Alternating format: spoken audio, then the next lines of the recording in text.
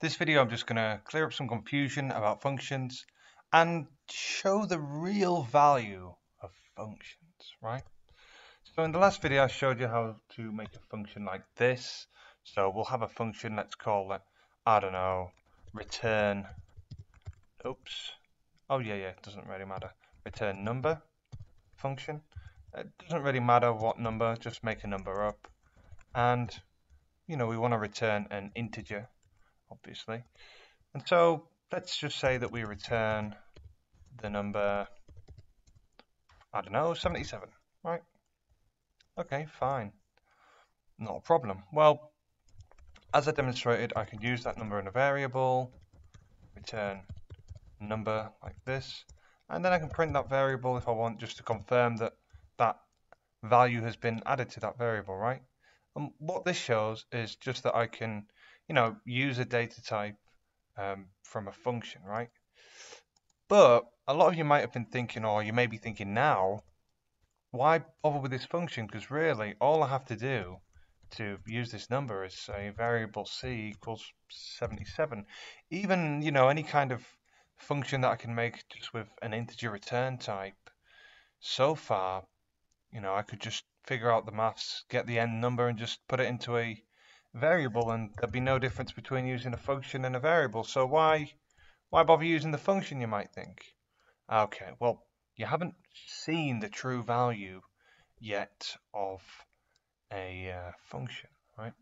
So you can actually make a variable. So let's say we call it variable mm, d and we'll say d is equal to 99, right? And then we can actually use this variable in here right? I'll show you how. So we have to make a function that accepts arguments and that accept and that makes uh, like a variable out of the argument. Okay, so I'll show you what I mean by that. So we'll we'll, we'll show you a new type of function, and it's uh, an argument function, right? So you get your function, you've got your name, you got your parentheses, right? And you got this, and you got execute some code possibly return if there's a return type. Okay? Inside of here, these parentheses, we can say, uh, we can have like a signaler, right? And we can then have like parameters. So we'll say param, and we'll say the param is equal to a data type. Okay? So what this signaler essentially is, and what this data type is, the signaler signals that this argument um, is the argument we want to use, and the data type is the data type that this signaler accepts, right? And once you take in the data type, um, it's assigned to this variable, and you can use that variable within this code, right? Maybe that doesn't make much sense to you. Maybe you're thinking that sounds a little bit crazy. I don't really understand that. That's fine, that's fine. So we'll make a function called multiply by 3, right? And we'll make a signaler, not a singular, bloody hell, a signaler. so we'll give it a signaler and we'll just call it sig, oops, sig1 to mean signaler 1. And we want a parameter and we'll just call that num yeah, we'll just call that num. And we want that to be of type integer, okay? We also want this to return an integer, right? And all we want this code to do is return num times 3, alright? Quite simple, quite simple, okay? So, what can we use this with? Okay, so we've got our variable d that we're thinking of using this with, and we can say that variable d2 is now equal to multiply by 3, and now we've got to use that word, the signaler, sig1, then we use a colon, and after that colon, we use an integer, you know? So we're going to use the integer we're going to use is actually d because d is actually an integer, okay, a value 99. It's a variable that holds an integer of value 99, right? Quite simple, quite simple stuff. Now, we can print out D2 as well. So, what's happened here? Well, I'll explain. This signaller, essentially, this sig1 signaller, says that we want to use this argument here, this number is in here, and then we get, we take an integer as, uh, as an argument here, right, as a parameter, should I say, right? So this is our parameter. So we're given the value 99. That value 99 is assigned to this here, this parameter, okay? So here you can see it's num, right? So in this case, num is 99 for D, and we times that by 3, right? I'll show you again. I'll show you with a different sort of variable. So we'll say D3 is multiply by 3 sig 1 D, right? Now, you might think, well, I could just get two variables here and multiply one by the other and keep multiplying by 3. That's that's absolutely fine. Oh, I'm not going to use D. Sorry, I'm going to use 5. So we're going to multiply 3 by 5, which should be 15. Just print that out there.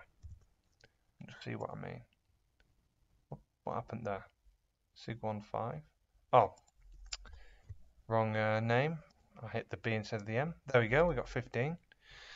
Now, you might think, all right, well, yeah, I, I could just, you know, I could just get variable D4 equals 3, um, equals 3, and then I could just put variable D5 equals D4 times 6, right, which should be 18. And then we'll print out D5. And why did I even need this? I've got this variable here. Okay, genius. I'll show you something um, that is harder to replicate, that you can put in a function, but you can't necessarily put in anything else. So we're going to just call the function complex math, right? And we're going to say that sig1, or we'll call it sig, mm, sig11, right? Just so that you see that I don't have to use the same name, right? And then we'll call this variable here num1 and we want it to be of type int and we want this to return an integer. Okay? Now this time we're going to see say that variable a is equal to num1 times num1 variable b is equal to a times 22 and variable c is equal to b minus num1, right? Then we return c. Okay, sounds great. So we're going to say that variable um, e is equal to complex, not complex, complex math, must make sure to get that right. Now we have to use sig11 because that's our signaler for this uh, integer, right? And we're going to say that the integer is a value, I don't know, 32. Sounds like a reasonable value to me. And then we'll print out e. Hopefully there's no errors, but seem to be having an erroneous day. 22,496, right? Now, in order for me to do, you know, all of these functions it's not going to be very easy. I can't just simply put all of these into variables. It's going to be a lot more complicated to replicate this than it is, for example, to replicate this multiply by 3. So you can see that when you've got an argument and a parameter, that actually you can do some more complex things uh, than you could before, right? Now then, here you can see that we've got, you know, just one argument, just one one uh, signaler and one parameter, for example, right? We don't have to use just one signal parameter. So I'll show you how to use more than one, right?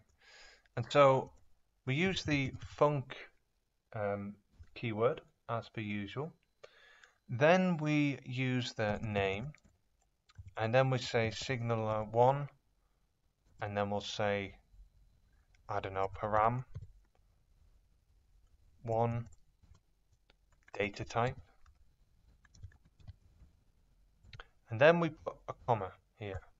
And then we can use sig2 and we can say param 2 and then we can use once again another data type. Right?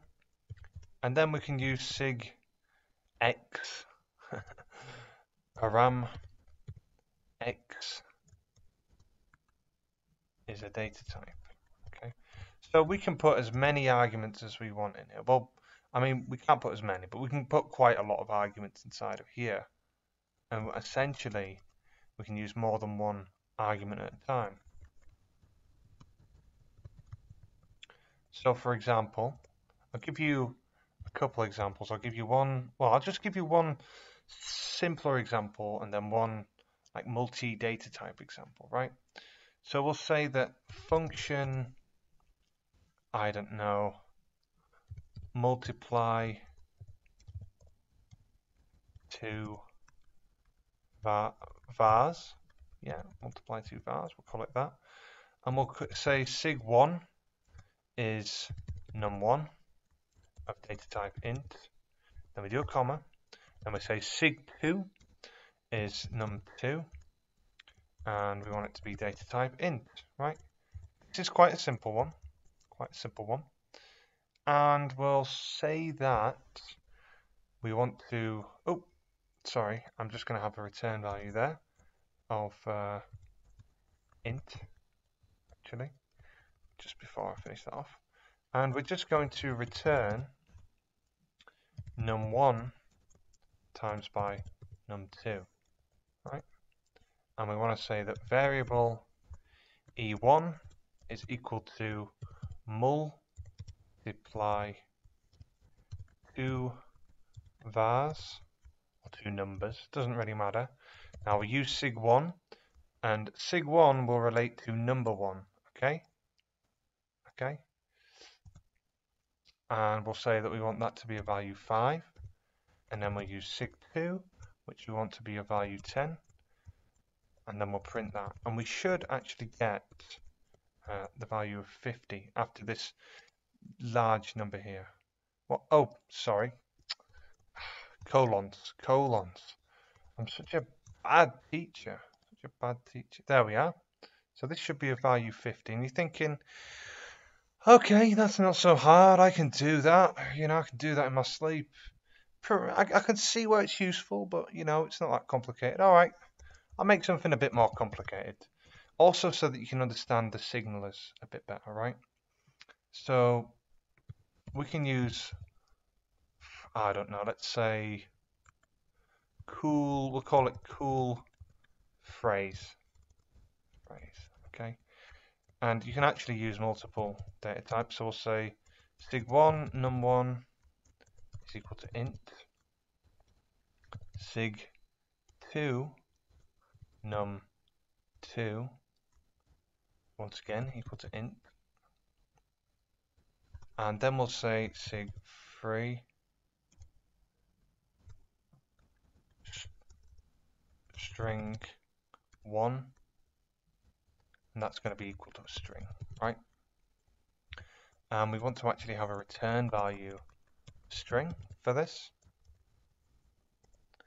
And what I'm going to do is I'm going to say that variable c equals num1 times by num2, right?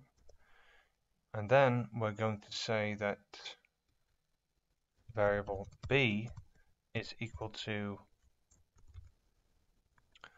num one is da -da -da, plus the string of num1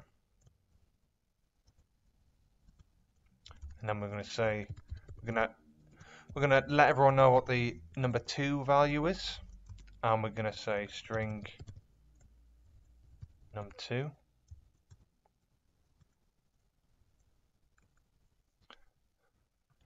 the multiplication of these two is and we're going to put to string C right? I hope this works. I hope it works. And we're going to return B.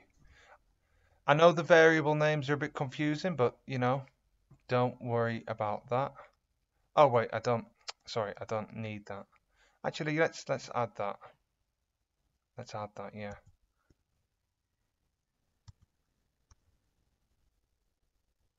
We'll add, yeah, we'll add string one actually. So string one. Right. So we return B. Now then, I'm going to use this function. We're going to call it cool phrase. Don't worry so much, you know, if this is hard for you, don't worry. You'll get used to it. Just bear with me and I'll explain it as well. So we'll put 5. Now we'll put sig2 is 8. And then we'll put that sig3 is Wow, that's cool. Oops. And we'll say that variable ddd is equal to cool phrase. Just going to check that that runs. Ah, yeah, hasn't run because of that. I just knew I'd have an error, you know, because the code's so big. There we go, that's run now. And we're actually going to print this DDD. DDD there. Ah, no. There we are. Sorry. I'm going to print that DDD. Sorry about that there. It's a bit unprofessional. But yeah, I'm going to print DDD. I'm going to run it. And you'll see here, num1 is 5. Haven't spaced that very well. I'll just space it there. Sorry. So num1 is 5. I'll just rerun out and space it, yeah. So num1 is 5, num2 is 8, right? And the multiplication of these two is 40. Wow, that's cool. So you can see that I've used two different data types um, within three different, you know, signals and parameters. I've got a return type of string, and you can see that each sig, each sig shows then then like takes a takes a value of a data type and then assigns that value to a variable of the name of the param, right? So here when I print out num1, we actually get 5 printed out. Uh, we get 5 printed out, which is the actual, you know, integer number we've used for the param, right? Here num2, when we print out num2, we get 8, which is the integer number used for the param. And here for sig3, where we printed that out, which is which has been stored in string 1, we actually get the string of the param, right? So that's just a little breakdown of everything. This is a little bit complicated. You might have to look at it twice to get it. I'm sorry about the errors, by the way, but I just I just had to get on with it regardless of them. But yeah, have a little look at this, you know, in your own time, and you'll you'll you'll understand it if you look at it a few times. But anyway, I'll go over everything again just so you can have a little understanding. So here I've just made a normal function that's an int and I've shown that basically when you don't have any arguments, you know, some of these functions can kind of be replicated. These return functions can just be replicated by finding out what the return value of the function is and just storing it in a variable. So some of these functions that just return something, they're useless because they have no argument. You know, once you find out the return value, you don't need the function, all you need is a variable that contains the return value, right? So a way to get past that is by using a signaler and a param that is of a data type. So essentially, we make a function and we decide we need a signaler and we need a data type. We can return that data type as well, and we can use this data type that's that's um, attached to this sig, and it will be held in this variable name, we can use this variable, this num variable, and do something with it. In this case, we're going to multiply it by 3 and return it, right? You can see that with this simple function, really I can just use the vari uh, assign the value 3 to a variable and times any any number by that to have the same effect. This is not the greatest function, right? But then I prove that this can be used for better things. So here, for example, we um, by use of the number one, this this here could be, for example, replicated. Just this one line. We could just get a variable and we could multiply it by itself and store it in a new variable. That's fine. But we couldn't then do all of these other things to it, you know, with this in, within the same line of code so easily. It would take us a lot longer to do all of this, right? And let's say this became a 1000 line, uh, really complex maths function. It would be very hard for us to replicate that. So it's probably a lot easier for us to just use the function name and the arguments that we need in a function rather than to rewrite all of this, right? For most variables, for example, or for something that, you know, might be 1020 code. Here I show that you can use more than one signaler uh, with more than one param for each one. And as you can see here, we can actually multiply one variable by another variable, and it can be any variable, right? Of course, we could replicate this by just simply multiplying a variable by a variable, and it might be easier than actually writing the function. But, you know, if this function used these two variables for many things, once again, it would be a very useful function. And here, this is a function that's quite complex, but all I've used this function for is to show that you can use multiple data types as params as long as each data type um, is you know connected to a sig. So for example, I can't use sig1 and use two data types, but I can use two different data types as individual sig that I attach to variables that are attached to individual signalers, right? That's uh, pretty much it, and that's it working there. You know, you can see this weird complicating thing is working. Anyways, I hope that kind of cleared some things up. I hope that you can kind of see that there is value in functions, especially when you add parameters to them. And hope you enjoyed and thanks for watching.